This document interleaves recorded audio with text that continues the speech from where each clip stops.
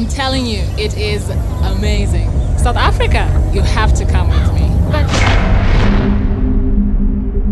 how would I even get there? Don't worry, I've got connections. They're gonna love you. With that body, you could definitely be a model.